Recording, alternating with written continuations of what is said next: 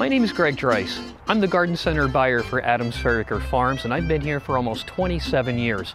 One of the things I love about Adams is being able to help customers with problems and solutions for their gardens.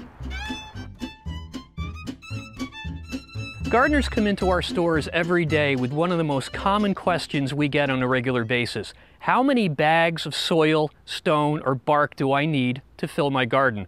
Well, garden math is pretty easy if you remember one simple formula. One cubic yard will cover a 10 by 10 average garden size, three inches deep.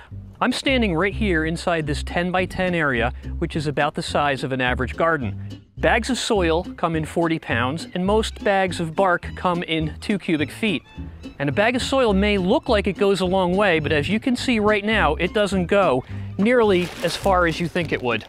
Here's what a 40 pound bag of topsoil looks like when it's put down on the ground. It's one half cubic feet and would take 54 bags to equal one cubic yard or to fill up this 10 by 10 garden area.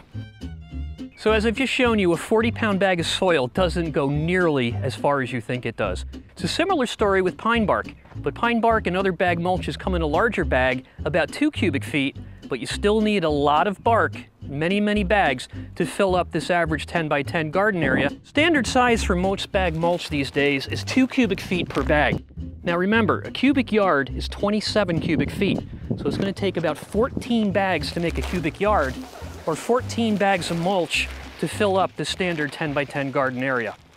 If you have a larger garden area, 10 by 10 or larger, it may be better to consider buying soil, stone, or bark in bulk. Bulk comes loose, it's dumped near your garden area, and is a lot of times much less expensive than buying bark and stone by the bag. If you have any more questions, come on into Adams and we'll figure out exactly how much bark, how much soil, and how much stone it'll take to fill up your garden bed. For Adams Fairacre Farms, I'm Greg Dreiss.